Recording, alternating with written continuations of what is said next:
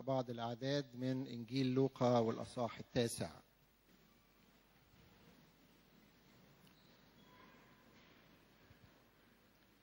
إنجيل لوقا أصحاح تسعة وهنقرأ من عدد 16 آسف 46 ودخلهم فكر من عسى أن يكون أعظم فيهم فعلم يسوع فكر قلبهم وأخذ ولدا وأقامه عنده وقال لهم من من قبل من قبل هذا الولد باسمي يقبلني ومن قبلني يقبل الذي أرسلني. لأن الأصغر فيكم جميعا هو يكون عظيما. فأجاب يوحنا وقال يا معلم رأينا واحدا يخرج الشياطين باسمك فمنعناه لأنه ليس يتبع معنا. فقال له يسوع لا تمنعوه لأن من ليس علينا فهو معنا. وحين تمت الأيام لارتفاعه ثبت وجهه لينطلق إلى أورشليم. وأرسل أمام وجهه رسلا فذهبوا ودخلوا قرية للسامرين حتى يعدوا له. فلم يقبلوه لأن وجهه كان متجها نحو أورشليم. فلما رأى ذلك تلميذاه يعقوب ويوحنا قال يا رب أتريد أن نقول أن تنزل نار نار من السماء فتفنيهم؟ كما فعل ايليا أيضا فالتفت وانتهرهما وقال لستما تعلمان من أي روح أنتما لأن ابن الإنسان لم يأتي ليهلك أنفس من أنفس الناس بل ليخلص. فبضوا إلى قرية أخرى. يبارك الله كلمته لنا. خلونا نصلي.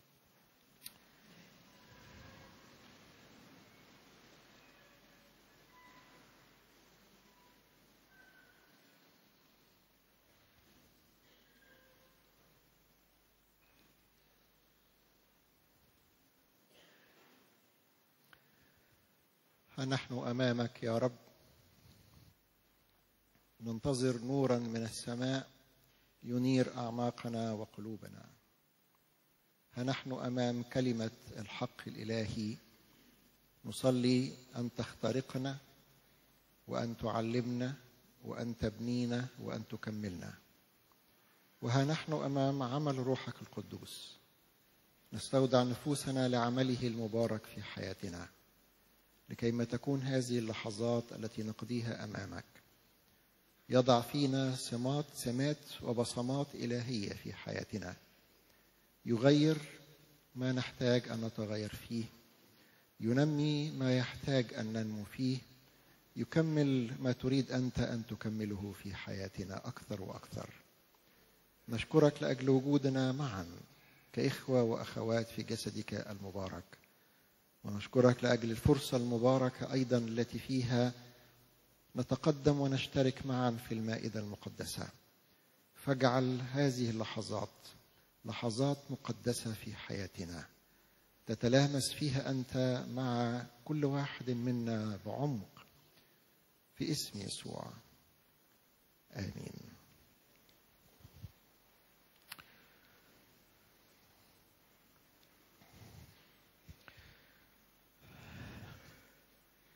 ربنا خلق كل واحد مننا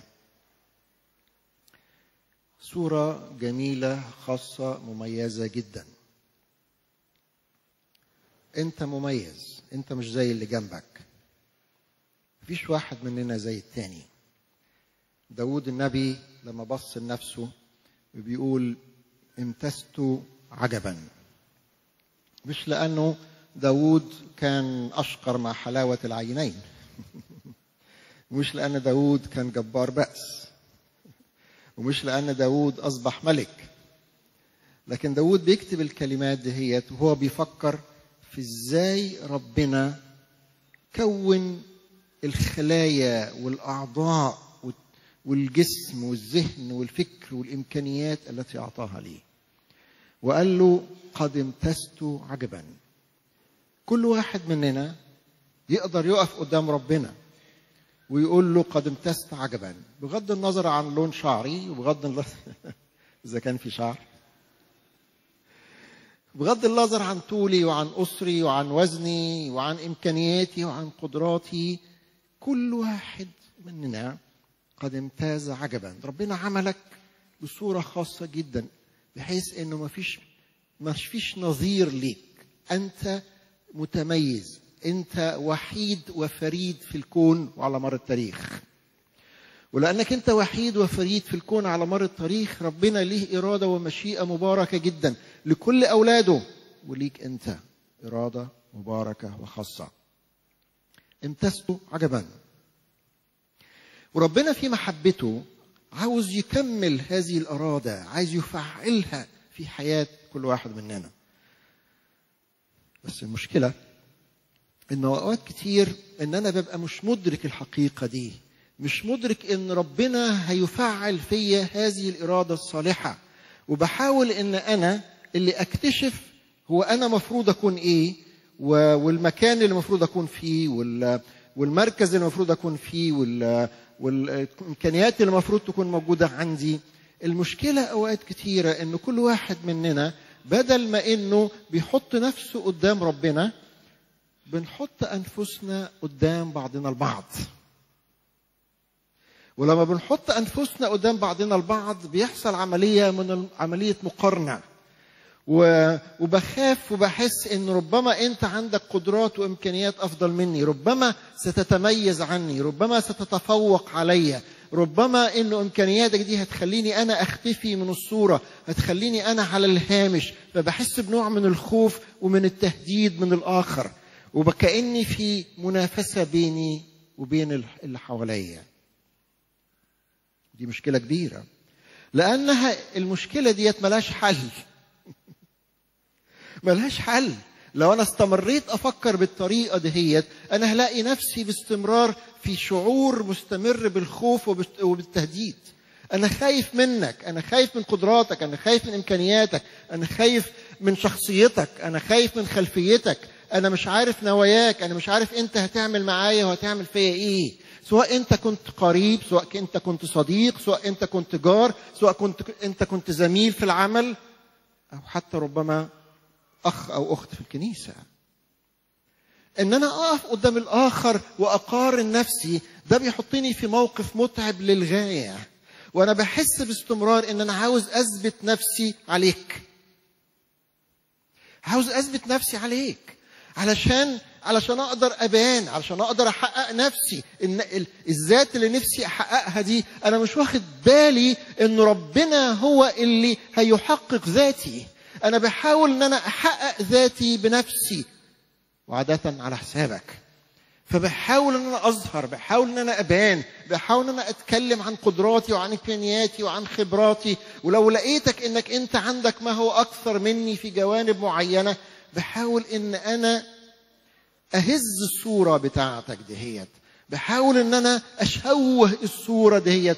لعلي أنا أبرز أكتر. وده مجهد جدا للنفس الإنسانية. مجهد. ولو فكرنا هنحس إن إحنا بنبقى تعبانين. كأن واحد عمال يجري يجري يجري. ومش بيوصل للي عاوز يوصل له. فبنحس بالإنهاك بنحس بالإجهاد بنحس بالاستنفاد كأنه مستنفذ. طاقتي راحت ولم أحقق شيء مازال نفس الأمر أنا ما زلت حاسس إني مهدد.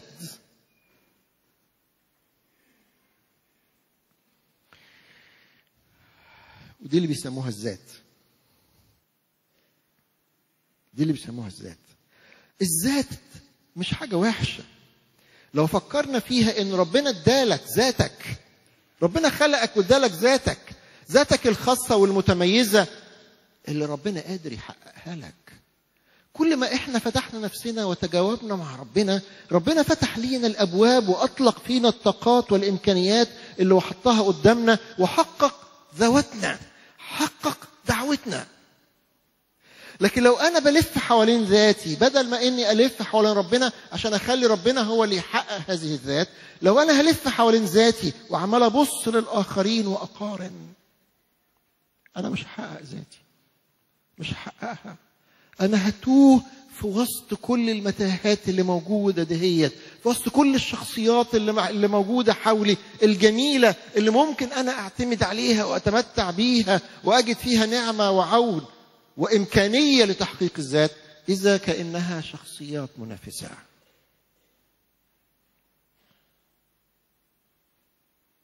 في ثلاث دوائر من الذات. الجزء اللي قريناه في إنجيل لوقا. بنشوف ثلاث دوائر من الذات. في دايرة الذات الفردية الشخصية. الجزء اللي قريناه في الأول بيقول الكتاب إنه كان بين التلاميذ فكر من هو الأعظم من هو الأعظم هو أنا محتاج أعرف ال- أعرف الحكاية دي أنا محتاج فعلا أعرف الحكاية دي هتفرق إيه؟ هتفرق إيه؟ ليه؟ ليه يا تلاميذ؟ ليه بتفكروا مين هو الأعظم فيكم؟ ليه أنا وأنت بنفكر مين هو الأعظم فينا؟ يفرق إيه معايا ومعاك؟ يأثر إيه عليا وعليك؟ يأثر إيه على نعمة ربنا وعمل الله ومشيئة الله في حياتي وفي حياتك لو عرفت هو مين الأعظم؟ واخدين بالنا من الفكر المريض؟ فكر مريض فكر إنساني.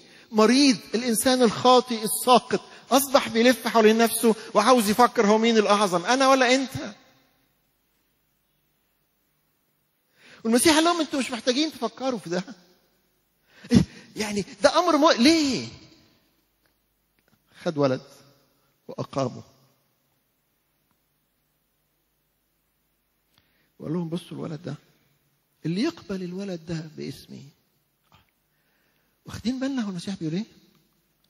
كأنه المسيح بيقول بيقول انت تقدر تحقق نفسك بمحبتك البسيطة. الطفل الص- الصغير اللي أقامه بيقول الذي يقبله اللي يقبل الطفل ده فقد قبلني ومن قبلني فقد قبل الذي أرسلني. كأنه عاوز يقول بكده أنا وأنت تتحقق ذواتنا ونحس بالإشباع. ونحس بالسعادة. من غير ما أبقى محتاج أفكر هو مين فينا الأعظم؟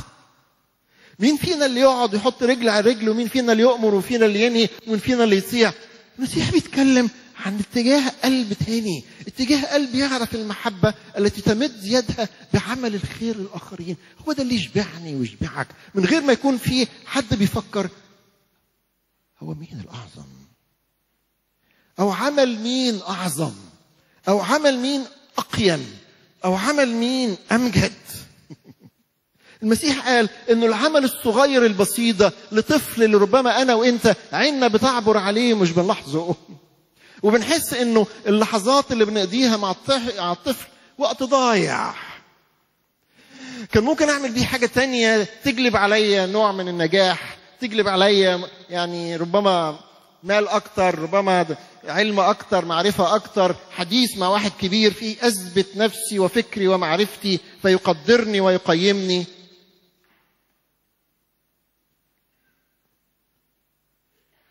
الذات الفردية. من هو الأعظم؟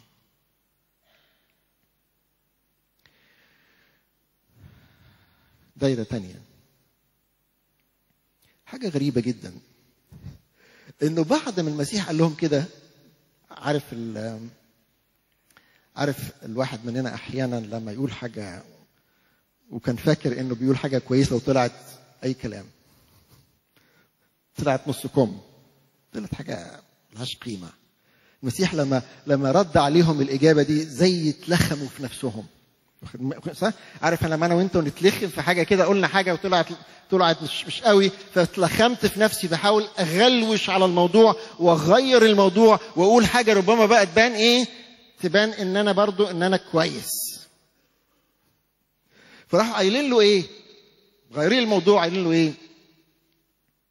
رأينا واحدا يخرج شياطين باسمك وهو ليس يتبع معنا فمنعناه إيه رأيك فينا بقى؟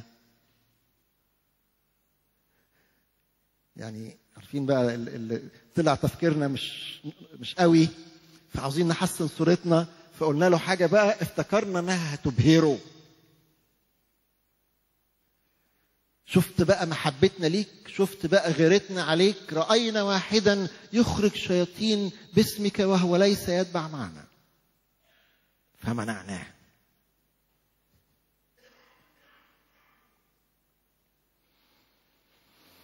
طب منعتوه ليه يا حبايبي؟ بيعمل عمل خير وبيعمله باسم. يسوع. يخرج شياطين باسمك. تخيل معايا.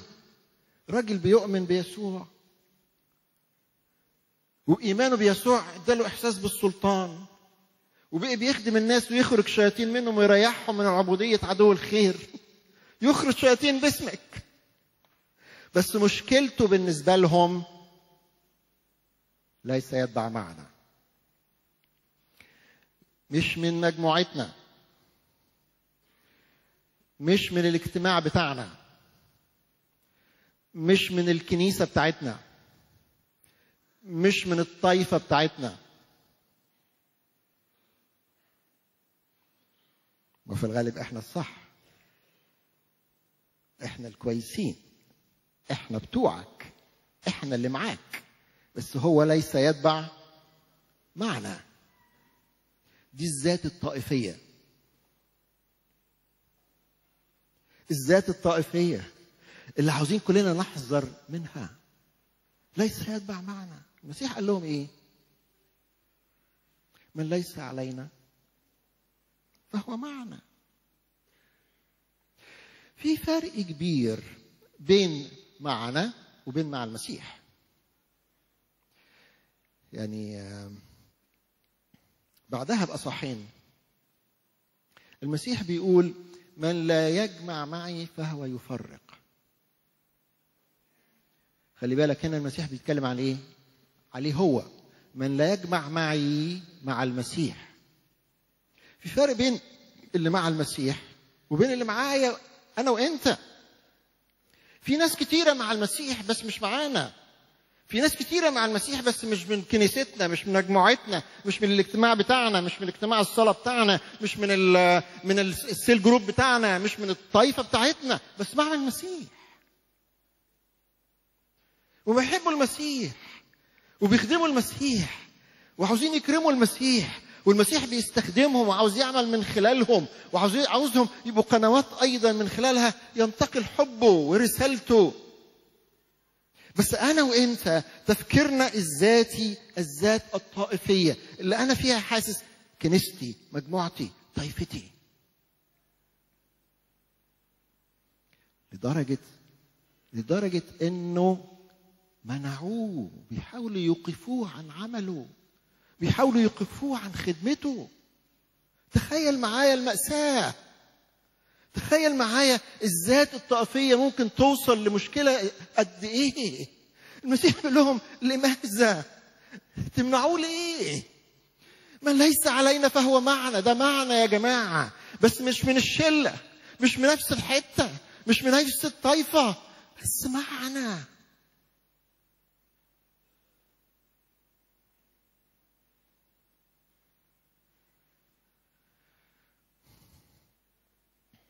دايرة أخرى. من دوائر الذات الذات هنا بعدها برضو على طول. يقول المسيح كان رايح لأورشليم فكان هيعدي على مدينة السامرية السامريين فأرسل يعقوب ويوحنا قال لهم عشان يعدوا لي عشان يبيت في المدينة دهيت قبل ما يكمل المشوار بتاعه. لما راحوا عشان يوضبوا له مكان وكده الناس اللي هناك في المدينة دهيت لما عرفوا إنه متابع يسوع هم مش عاوزين يسوع. فما رضيوش إن هم يدوهم مكان. فرجعوا يعقوب ويوحنا وبيقولوا له أخفقنا يا سيد ما عرفناش ما عرفناش ندبر لك مكان. للأسف الناس دول رفضونا ورفضوك. يتخيل معايا. وبعدين بعدين يعقوب ويوحنا بنوع من ال... الغضب. مش الغيرة. مش غيرة مقدسة لا. نوع من الغضب. ها؟ بس بقى غضب عارف أنا وإنت لما لما يبقى جوانا حاجة غلط ونحاول إننا نكسوها بثوب بر. بثوب ديني بث- بثوب مقدس. فبيقولوا له إيه؟ اتريد اتريد أن نطلب أن تنزل نار من السماء.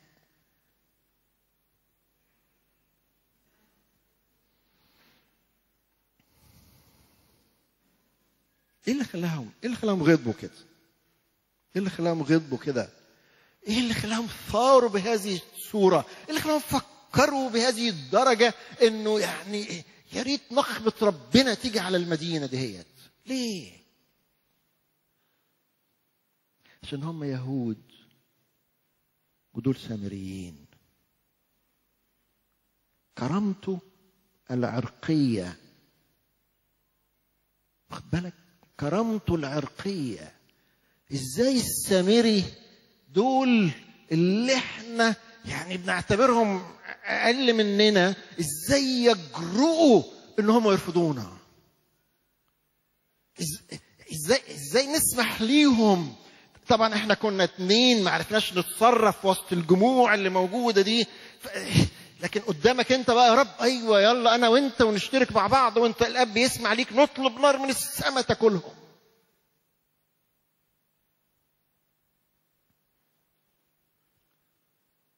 الذات العرقية. وأنا وأنت وقت كتير إحنا بننظر إلى المختلفين عنا. في العرق في الجنس. ونحس بالتميز. بالأفضلية. ممكن الراجل على الست. ممكن المصري على جنسية أخرى. في إحساس أوقات بالتعالي. وعشان كده الإحساس ده الشعور ده لو خدش بيبقى فيه الثورة الداخلية الغضب ده النقمة الداخلية اللي تخلي بتاكل جوه الإنسان ويبقى نفسه لو رب لو يقدر هو لو ما يقدرش يبقى يا رب انتقم انت ليا. رد ليا كرامتي. كرامة الجنس بتاعي والعرق بتاعي والخلفية بتاعتي.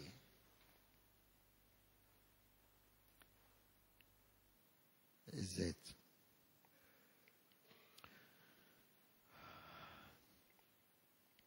سواء الذات الفردية سواء الذات الطائفية سواء الذات العرقية. ليها ظواهر. ظواهر منها الانتفاخ. النبي في العهد القديم يقول إيه؟ يقول نفسه منتفخة فيه. حاسس بنفسه. وبغض النظر بغض النظر بس هو لأنه من كتر ما عمال يفكر في نفسه هو عمال ينفخ في نفسه. بغض يعني بغض النظر عن صورته قدام الناس. هو في في عينيه. ممكن يبقى شايف عيوبه وشايف ضعفاته بس من كتر ما إن هو عمال محصور في نفسه عمال يفكر في نفسه حاسس بانه الناس دي كلها مش مقدراني يحسلها مش فاهمة. الناس دي كلها مش فاهمة. الناس دي كلها يعني عشان قلبهم مش كويس وعينيهم مش كويسة وعشان بيفكروا في أمور أخرى وفي ماديات وفي مراكز وفي علم مش قادرين يقدروني أنا لو يعرفوني لو يعرفوني على حقيقتي. نفسه منتفخة فيه. تعالي. تعالي على الآخرين. يقول الرسول يعقوب عن اللسان. بيقول إزاي إن اللسان ده مشاكله كتيرة وكلنا أعتقد متفقين مع الرسول يعقوب. واحدة من الحاجات اللي بيذكرها الرسول يعقوب عن اللسان. يقول يفتخر متعظما. بيحصل؟ نقعد كده وننتهز الفرصة في أي قعدة. والواحد يحاول يذكر بطولاته إنجازاته معرفته. ما قريتش ما عرفتش. ما سمعت. أصل أنا رأيي تحليلي. بعتقد وأنا بحاول ان أنا يعني اخلي الناس تبهر بيا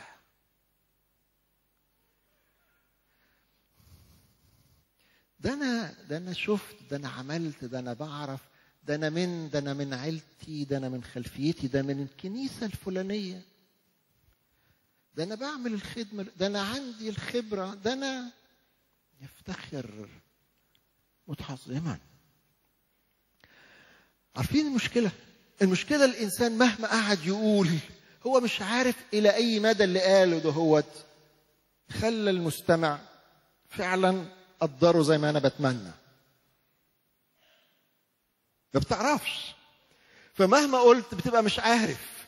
فبتقول أكتر لعل لاحسن علشان الموضوع ما ينقصش. وبعدين ممكن لما انت لما بتتكلم وتقول وتعبر وتفتخر وتتحدث عن نفسك وهو تبص تلاقي نفسك ممكن قوي. بعد كده حسيت بتفكر في اللي انت قلته وتقول أوبس لحسن يكون فهمني غلط. أوبس لحسن يكون خد انطباع إن أنا بفتخر. طب إزاي أصلح الموضوع؟ وتلاقي نفسك بتدور في دوامة.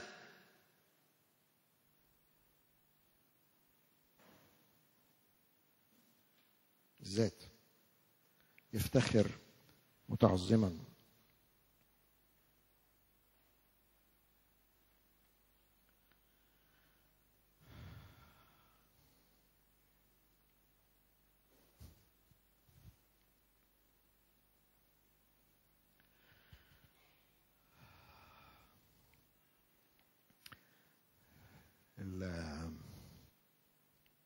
إيه اللي خلى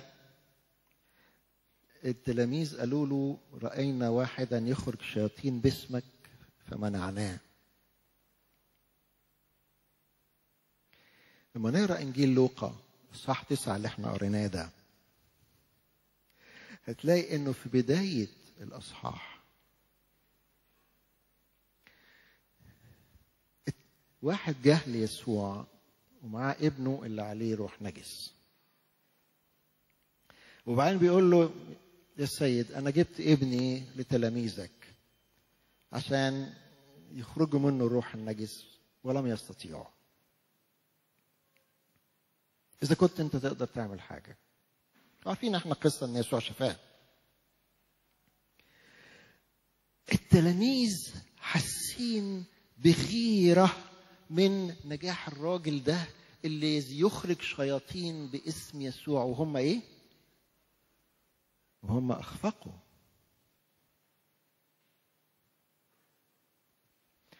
واحدة من تعبيرات الذات الغيرة من ظواهر ذات الغيرة.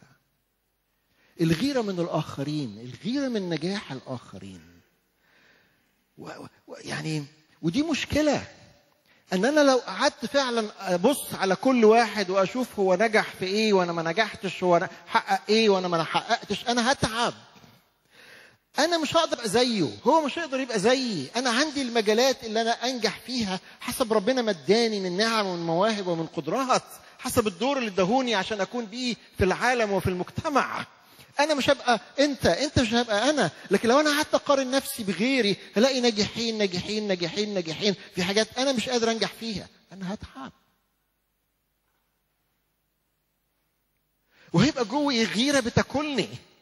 والحسد بياكلني وهبقى بقاوم الناس دول وعاوز أوقف نجاح بتاعهم عشان نجاحهم حسب ما أعتقد أنا كأنه بيخفي نجاحي بيخفي شخصيتي بيخفي وجودي. ابدا. ابدا.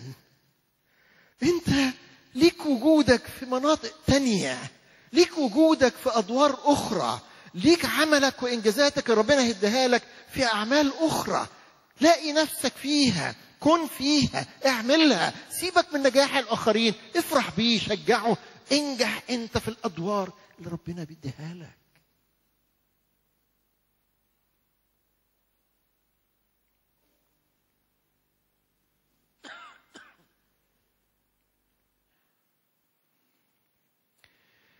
وأرجو إننا نحذر جدا.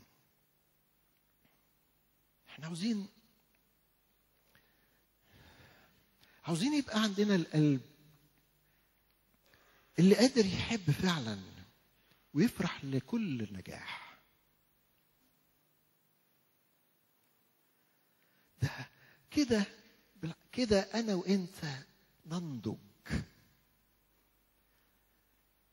كده أنا وأنت كل واحد في ذاته يصبح الإنسان اللي ربنا عاوز يكون. وكده أنا وإنت مع بعض نبقى الجماعة الكنيسة الواحدة المقدسة الجامعة الرسولية اللي في أماكن مختلفة وبصور مختلفة ومن وب- وبأشكال مختلفة وبأساليب مختلفة وبطوائف مختلفة قادره تحقق دعوتها. قادره تعمل الفرق اللي ربنا عاوز يعمله في العالم. أنا مش عاوز أوقفك ولا أنت توقفني مش مفروض غلط. مش مش اقف لك واحاول أغلطك ولا تقف لي وتحاول تغلطني. مش هحاول أفتخر بخلفيتي وإنجازاتي وأعمالي وقدراتي وكنيستي وعقيدتي وإيماني وأعمالي ونشاطي. وأنت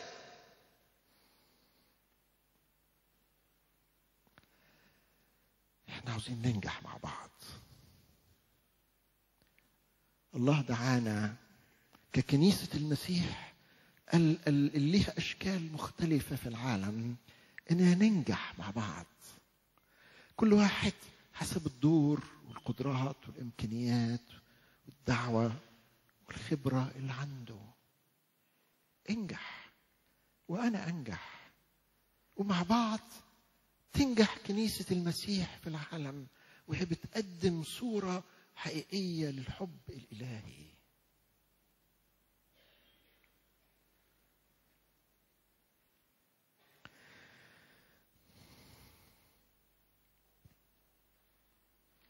زي ما قلت واحدة من من مظاهر وظواهر الذات.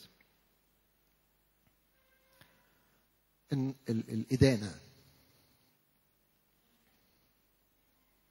إدانة زي بطرس ويعقوب لما أدانوا وقال لك تنزل نار من السماء وتأكل الناس دول. إدانة عارف عارف لما تحس إنه جواك في إدانة للآخرين؟ لما أنت قاعد تتصيد أو تمسك عليهم أشياء وتدينهم اعرف إن ده جاي من الذات. أنا عندي مشكلة في الذات. قاوم الحاجة الصح. قاوم المشكلة الجذر بتاع المشكلة.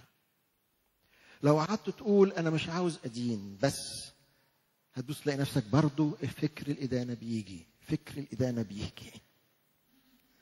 لكن حط إيدك وامسك الجدر وحاول تقلعه.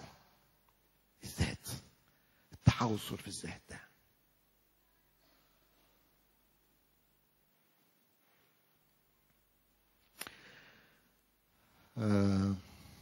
كتاب يقول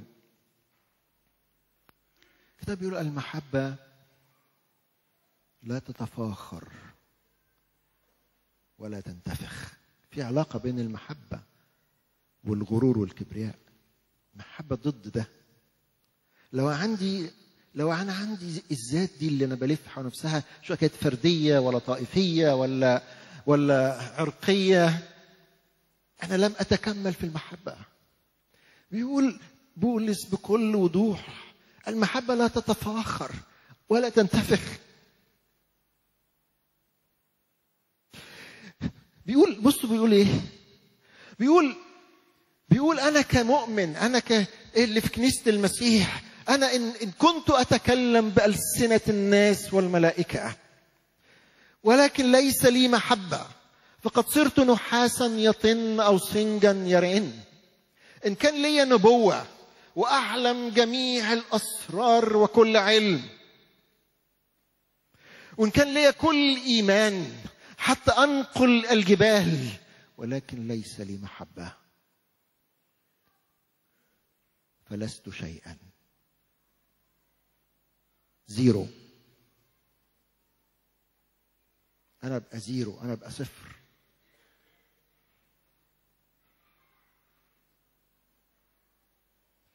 أنا ابقى صفر بغض النظر بقى عن الأعمال وعن المواهب وعن المعرفة الكتابية. بغض النظر بيقول إن كنت أعلم جميع الأسرار وكل علم. عندك المعرفة وعندك الإيمان وعندك العقيدة وعندك التاريخ وعندك وعندك وعندك. إذا كان في غيرة إذا كنت بحسب نجاح الآخر إذا كنت بقاومه إذا كنت مش مش بتمنى له النجاح أنا عندي مشكلة مشكلة كبيرة.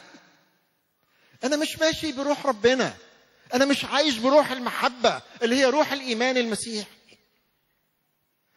لست شيئا.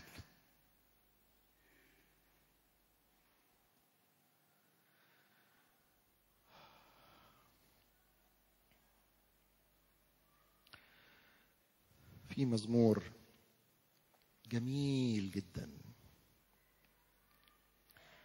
هو صغير قوي. ربما البعض مننا يعرفه.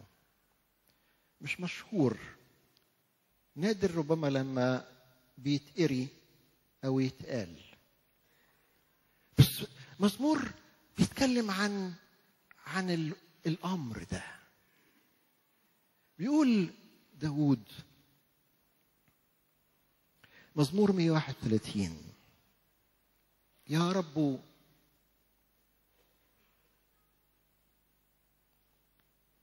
لم يرتفع قلبي. ولم تستعلي عيناي. واخدين بالنا؟ واخدين بالنا؟ داود داود اتمسح ملك وقعد سنين مطارد. لكنه ما جراش ورا الكرسي ولا الملك. ما جريش وراه. على الرغم إنه كان ممسوح. ما جريش وراه. يا رب لم يرتفع قلبي ولم تستعلي عيناي.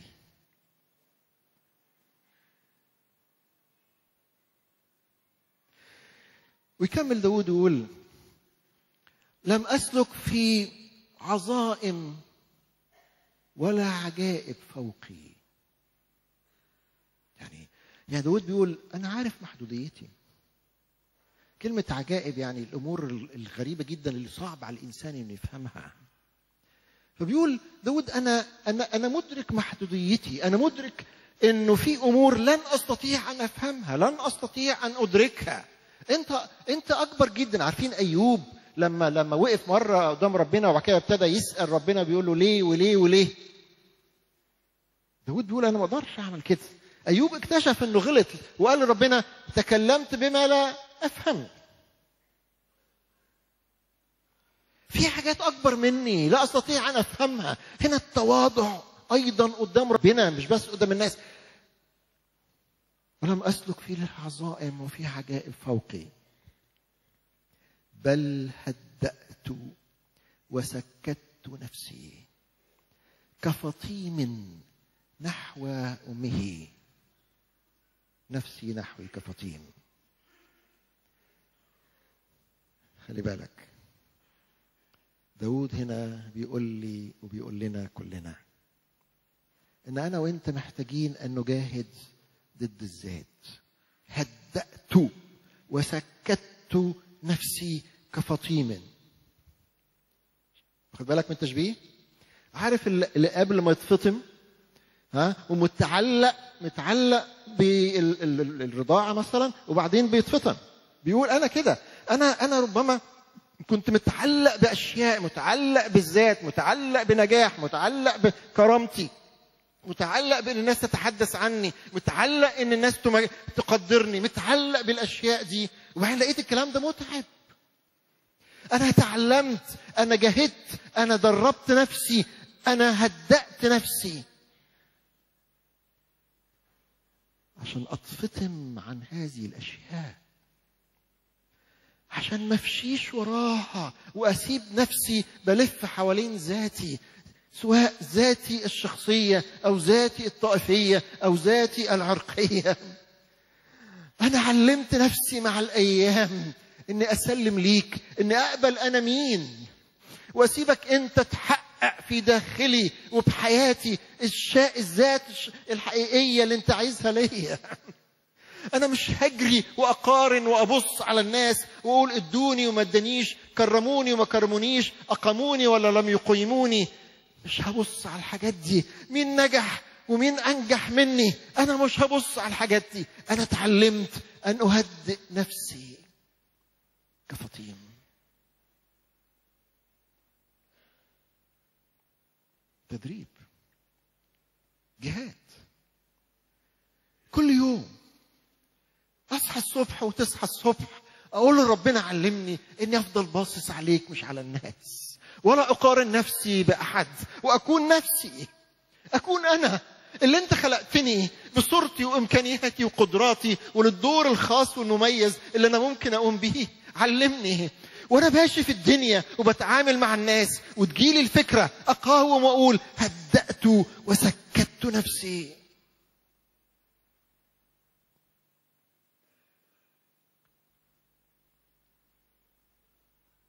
ومع الجهاد وبنعمة ربنا. ومع الوقت أبص ألاقي نفسي بدل ما أدور حوالين الذات. أنا بدور حوالين فكر الله لحياتي.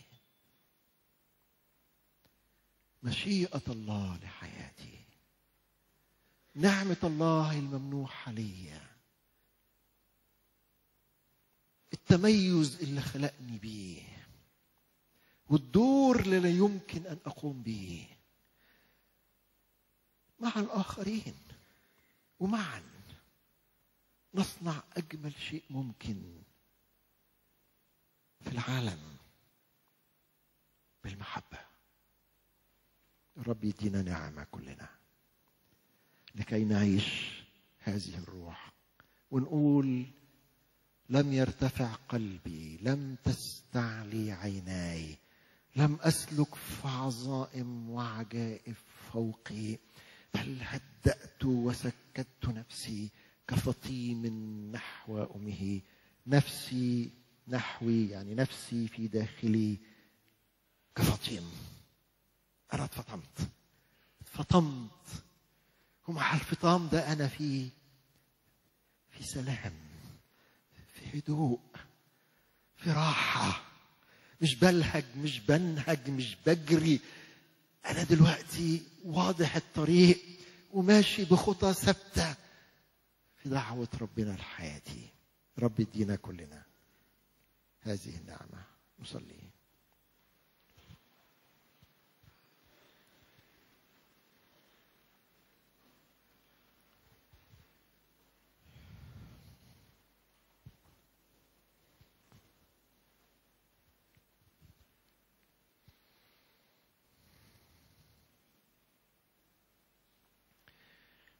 عاوزين نتفتم يا رب.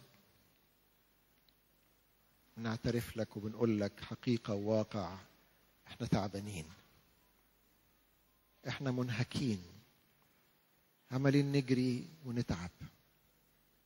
لكن أنت عاوز تريحنا. نشكرك لأنك بتقول لنا ما تشغلوش بالكم بأنفسكم. وعلاقتكم وموقفكم أمام الآخرين.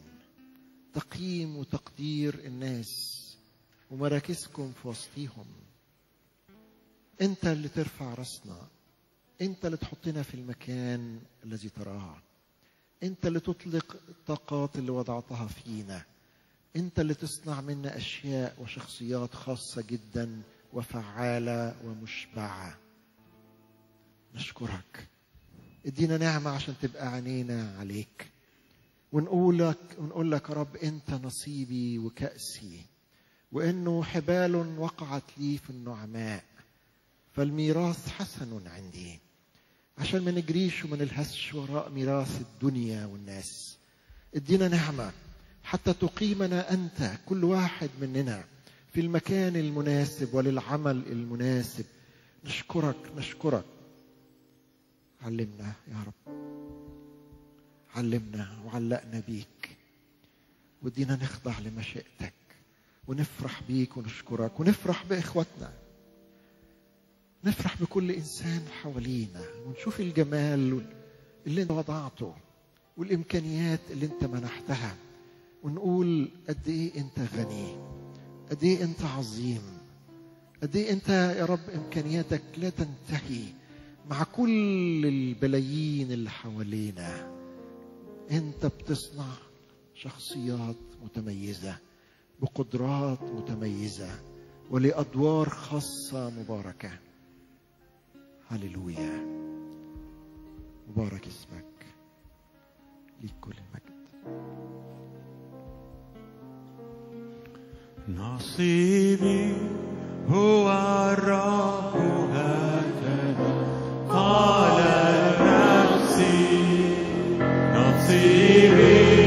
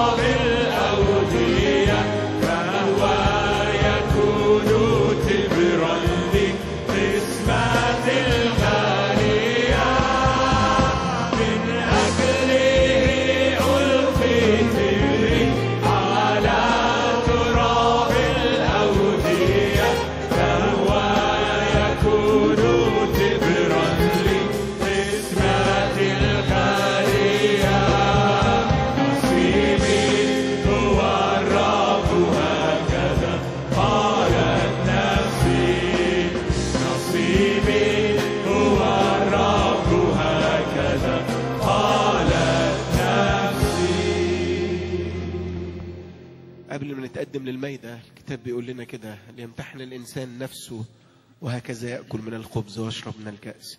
النهاردة الرسالة اللي ربنا كلمنا فيها محتاجين نمتحن أنفسنا قبل ما نتقدم للميدة. في كبرياء في ذات قدم توبة النهاردة قدم توبة. وقول لنفسك تواضعي نفسي تواضعي. بص على يسوع مصلوب. الذي كان في صورة الله لم يحسب خلسة أن يكون معادلا لله. لكنه أخلى نفسه. النهاردة هتعمل إيه في نفسك؟ تعمل إيه في ذاتك؟ هتفضل مكمل زي ما أنت ولا النهاردة تقول لها تواضعي نفسي؟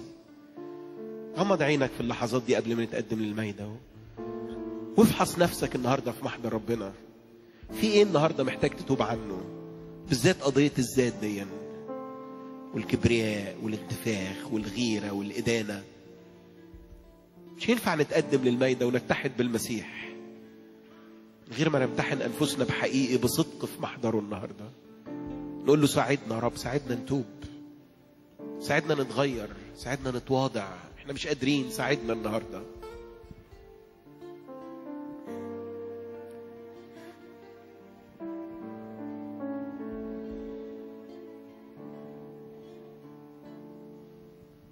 اختبرني يا الله.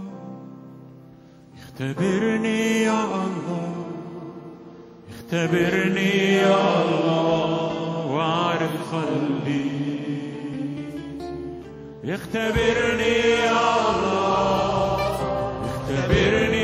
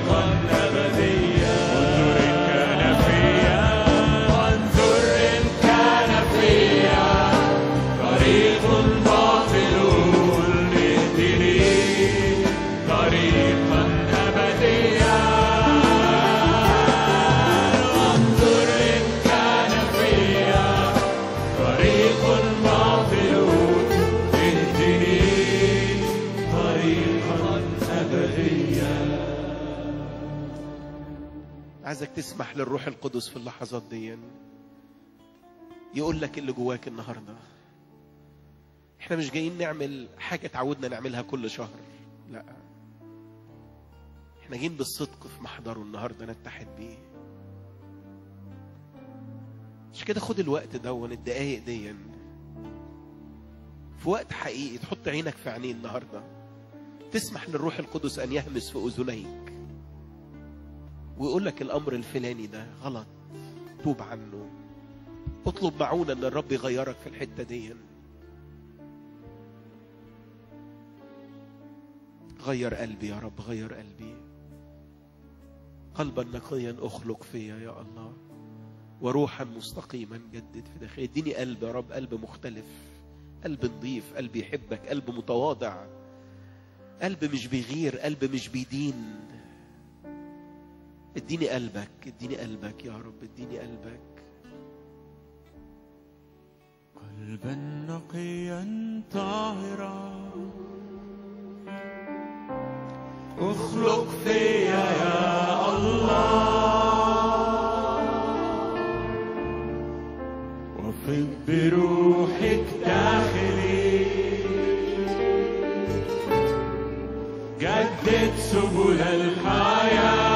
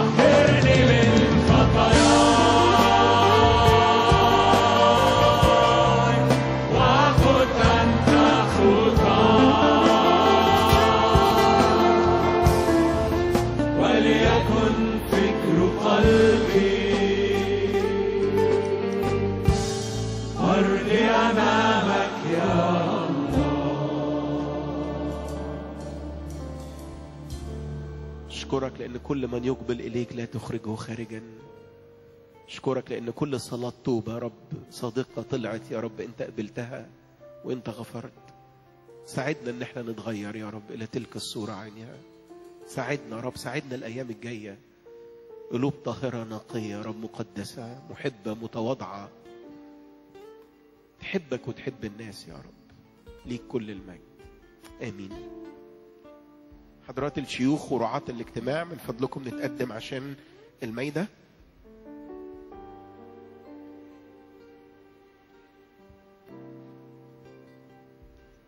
شيوخ ال- الكنيسة ورعاة الاجتماع لو معانا خدام من كنايس أو طائف أخرى قصوص أو شيوخ مرتسمين فضلكم آه، ساعدونا في الميدان.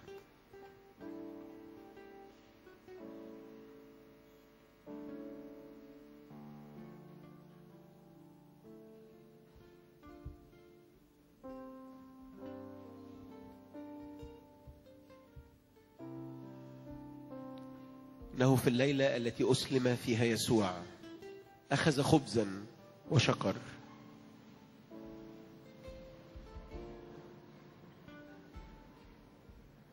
آه يا أبي نتقدم إليك بكل الشكر وكل الحمد لأنك نظرت إلينا أشفقت علينا وتنزلت إلينا بمحبة أبدية غافرا لنا خطايانا. بتقديمك يسوع الابن المبارك البار الأكثر طهارة من السماوات. بذل نفسه لأجلنا ليكون فدية عن خطايانا وأثامنا. إحنا غير مستحقين يا رب. ولن نكون في أي وقت مستحقين لهذه النعمة وهذا العطاء. بارك رب اليوم النهاردة. خلينا يا رب وإحنا بنتقدم للميدة نكون بكل خشوع ووقار نكرمك رب في قلبنا في حياتنا في عبادتنا في اسم الرب يسوع. آمين. وبعدما شكر كسر ونحن على مثاله نفعل ذلك.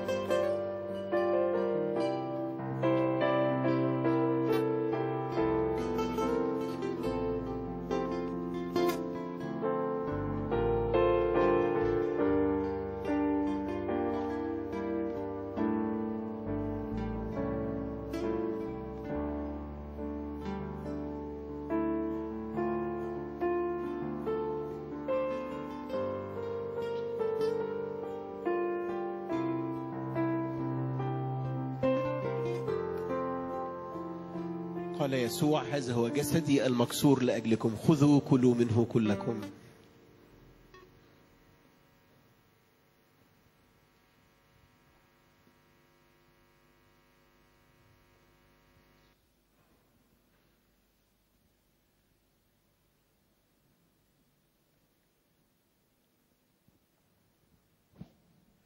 كذلك الكأس أيضا بعدما تعشوا مبارك الرب إيه، الذي جمعنا في هذا اليوم. نقف يا رب أمامك يا رب بحمد وتسبيحات. نهتف لك يا رب. ونفسك يا رب نتواضع قدامك نأتي يا رب أمامك بكل ذواتنا يا رب بكل ذاتنا. بكل رب أمور يا رب فيها رب عدم رضا وعدم رب محبة للآخرين. كل رب فيها مرارة فيها غضب فيها سخط. تعالى يا رب من فضلك. أنا بصلي يا رب مع كل الكنيسه يا رب هذا المساء. نيجي يا رب قدامك عند هذه المائدة. يا رب تجسيد واضح رب وإعلان واضح عن حبك. مش بس كده يا يسوع لكن كمان أنت بذلت نفسك من أجلنا. وأنت يا رب الإله القدير. تواضعت في كل أمر في كل درجة من درجات السلم لغاية حتى الموت موت الصليب. أشكرك يا رب إنه الرب يسوع رب إيه؟ أنت أقمت من الأموات يا رب لأنك أنت هو رب الحي القدير. يا رب النهارده بنصلي يا رب إن نحيا ونقوم يا رب من كل ضعفاتنا وكل أمورنا يا رب بكل ذواتنا. يا رب يا رب نتيجة المائدة دي يا رب قدامك. نتوب يا رب قدامك ونعترف عن كل مرة شفنا فيها نفسنا ان إحنا رب شيء يا رب النهارده بنصلي قدامك يا رب نتضع قدامك. تيجي يا رب النهارده تغير ذواتنا يا رب ونتوب قدامك عن كل أمر. ليك الكرامة والمجد. آمين.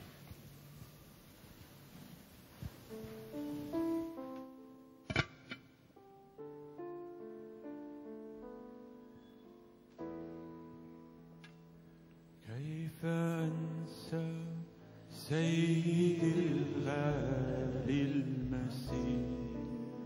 كيف أنسى دابة الجنب الجليل كيف أنسى سيدي الغالي المسيح؟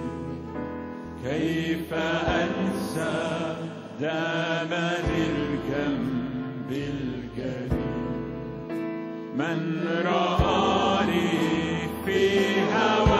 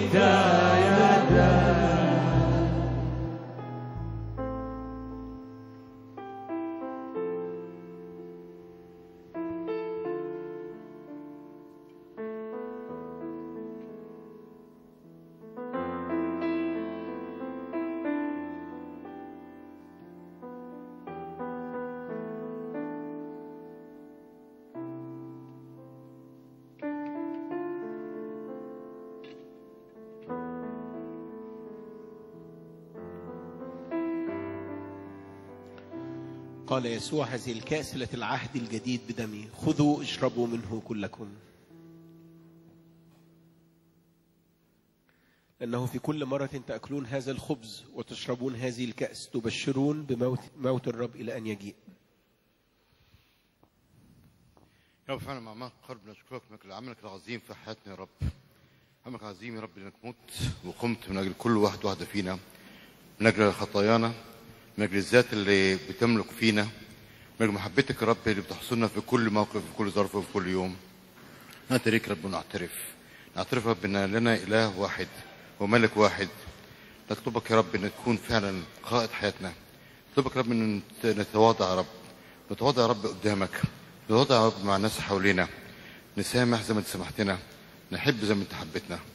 تمجد يا رب في حياتنا. تمجد في أفكارنا. تمجد في كل عمل نقوم به. وهدفنا هو تمجيد اسمك وامتداد ملكوتك. لك المجد يا رب لك المجد السجب آمين. آمين. تفضلوا استريحوا. خلونا نعبد الله بجمع عطايانا وتوزع على حضراتكم مظاريف وإحنا داخلين خاصة بتبني الهيئات الكرازية اللي كنا بنتكلم عنها الأسابيع اللي فاتت إن ربنا مشجعنا نفتح زي بيوت آه، يبقى فيها اجتماعات نأجر شقق أو ناخد شقق يبقى فيها اجتماعات في الأماكن اللي ما فيهاش كنايس. بالتعاون مع مجمع القاهرة والكنيسة تبقى مسؤولة عن الأماكن دي ماديا وروحيا فعشان كده المظاريف اتوزعت على حضراتكم حطها مع العطا آه، لو ربنا مثقلك إنك أنت تكون بتشجع الخدمة ديا.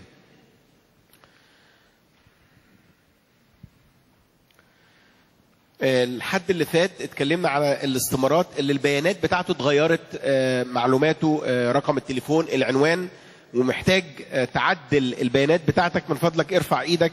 هيجي لك حد من الأشرس معاه الاستمارة. ولو تحب تتعهد ما كنتش عملت كده قبل كده تحب تدي تعهد للكنيسة بشوره شهرية سواء مبلغ صغير مبلغ كبير تحب تملى استمارة ويبقى عندك كده معلوماتك موجودة في الكنيسة نقدر نتواصل معاك. في استمارة بتتوزع تقول أنا أحب أكون آه، بشترك في تعضيد خدمة الكنيسة بتعهد شهري رقم بمبلغ معين تقدر تملى الاستمارة. لو محتاج استمارة ما عملتش الاستمارة دي قبل كده ارفع إيدك هيجي لك حد من الاشرس بالاستمارة بورقة وقلم تقدر تكتب البيانات. ولو عايز تعدل البيانات بتاعتك تقدر كمان تعمل كده هون ال- التبرعات بتاعت الكنيسة بقت بتتقدم بطريقة سهلة عن طريق الأونلاين بالفيزا. هتعرض علينا على الشاشة دلوقتي إزاي؟ بتدخل على giving.kdec.net وسهل جدا بتطلع لك شاشة زي كده عليها الإيميل بتاعك. وبتحط الباسورد أو كلمة السر اللي عايزها تكون آه، موجودة. وبعد كده بتطلع على صفحة تانية بيقول لك حط الاسم والإيميل وال- والكلمة السر وكمان أكد كلمة السر معلومات سهلة جدا. وبعدين بتكتب المبلغ اللي عايز تحطه أي مبلغ بالجنيه 5 جنيه 100 جنيه 1000 جنيه 100000 جنيه أي مبلغ. وبتختار الغرض. عندنا حاجتين حاجات عامة والبيت الوادي. الحاجة العامة بتدخل على الكنيسة على طول الحاجات اللي محتاجينها عشان البيت الوادي محتاجين تعضيد الأيام دي عشان نخلص الفيلا ال- ال- الجديدة اللي بدأنا فيها. فمحتاجين تشجيع لبيت الوادي. لو عندك آه، تقديمات لبيت الوادي تقدر برضو تعملها أونلاين عن طريق ال- الغرض. ولازم تختار ال box دون بتاع I accept ال terms اللي هو أوافق على الشروط. بعد كده بنفس ال amount بتختار تهيألي سهلة جدا كلنا نقدر نعملها. ونقعد دفع ماستر كارد أو فيزا. وده اسهل عشان لو معكش فلوس وانت جاي الكنيسة سهل قوي بالفيزا تدفعها وربنا معاك. تدفع الفيزا نصلي لك إزاي تدفع الفيزا بعد كده. طيب الاعلانات التانية كلها اتوزعت علينا وإحنا داخلين. آه، مؤتمر الصلاة من يوم 17 ل 19 مارس. آه، تقدر تبدأ تحجز من النهاردة التذاكر. آه، وكل يوم الحجز من 5 ل 9 مساء ما عدا الجمعة من واحدة ل 8 بالليل. والسبت مفيش بيع تذاكر. كل أيام الأسبوع ما عدا السبت من 5 ل 9 وأكيد بعد الاجتماع النهاردة والأسعار بتاعت التذاكر آه، هتبقى موجودة. 40 جنيه اللي هيروح بالعربية بتاعته و60 جنيه اللي هيروح بالأتوبيس و150 اللي هيروح الثلاث أيام مع بعض. مستشفى امون الخبر الكويس إن الاستاذ الأستاذ الدكتور ماجد توفيق هيكون موجود. آه، نقدر تحجز آه، كل شهر عنده الجمعة الأولانية من كل شهر في المستشفى. تقدر تتصل وتحجز تعمل ميعاد لو تحب تشوفه. طيب خلونا نقف مع بعض وإحنا بنصلي من أجل الاحتياجات المختلفة. إحنا بنرفع بإيمان كل السؤالات والطلبات اللي عندنا الشخصية والجماعية والعائلية والمادية والنفسية والجسدية وبنصدق إن إلهنا قادر. لا يعصر عليه أمر ربنا مش بيعصر عليه أمر. وهو يقدر يعمل المعجزة اللي مستنيينها بقالنا سنين. ارفع إيدك معايا وإحنا بنصلي عشان كل اخواتنا. وصلي خلينا كلنا نصلي خلينا كلنا نصلي بصوت عالي. قول له المس يا رب الاحتياجات دي الأيام دي يا رب. المحتاجون إلى الشفاء يا رب اشفيهم الأيام دي؟ المحتاجون إلى عمل افتح الأبواب ليهم يا رب. اللي بيعانوا نفسيا الأيام دي يا رب طيب خواطرهم أنت واشفيهم صلي صلي من أجل كل اسم موجود هنا صلي من أجل الناس اللي في حياتك تعرفهم بيعانوا الأيام دي. ان الرب يمد إيده برحمة ليهم الأيام دي أيوه يا رب إحنا مصدقينك. يا رب أنت شديد القدرة. يا رب شديد القدرة. إحنا مصدقين في سلطانك. مصدقين يا رب إنك تقدر تقول كلمة الآن. يا رب فيبرأ الغلام. تقدر تقول كلمة فيفتح الباب. يا رب تقدر النهارده تقول كلمة فالحال يتغير. يا رب أنت تغير الأزمنة والأوقات بكلمة. وإحنا مستنيين كلمة منك على أجساد بقالها سنين. يا رب فقدت الأمل يا رب والرجاء في الشفاء إنك تمد إيدك ليها الأيام دي. يا رب مش هنبطل نصلي للشفاء يا رب مش هنبطل. أنت أبونا مش هنبطل نسأل منك لأنك أبونا. يا رب نسألك في أي وقت. وإحنا مصدقين في حكمتك يا رب وفي سلطانك. كمل عملك يا رب كمل عملك كمل عملك الأيام دي يا رب. واصنع رحمة معانا وعظم اسم المسيح في الشفاء الأيام دي يا رب. الكلمات اللي رافعينها شعار للسنة دي وكان اسم الرب يسوع يتعظم. عظم اسمك في شفاء الأجساد يا رب. عظم اسمك في شفاء النفسيات. عظم اسمك إن الأبواب المغلقة تفتح يا سيدنا الرب. يا رب أنا بصلي من كل الشباب اللي بيدور على شغل الأيام دي يا رب. فضلك يا رب من فضلك افتح الأبواب دي يا رب. افتح أبواب العمل افتح أبواب الارتباط. إحنا منتظرينك يا رب الأيام دي. وهنيجي نقول لك يا بابا يا بابا اسمع اسمع لصلاتنا واسمع لصراخنا ليك كل المجد في المسيح يسوع. خلونا نختم مع بعض بالتسبيح والصلاة الربانية وبعدها البركة الرسولية من القسيس نجي ليك المجد يا فدينا اتجسدت وجيت لينا. نورك نور أراضينا يا عجيب. وهنفضل نغني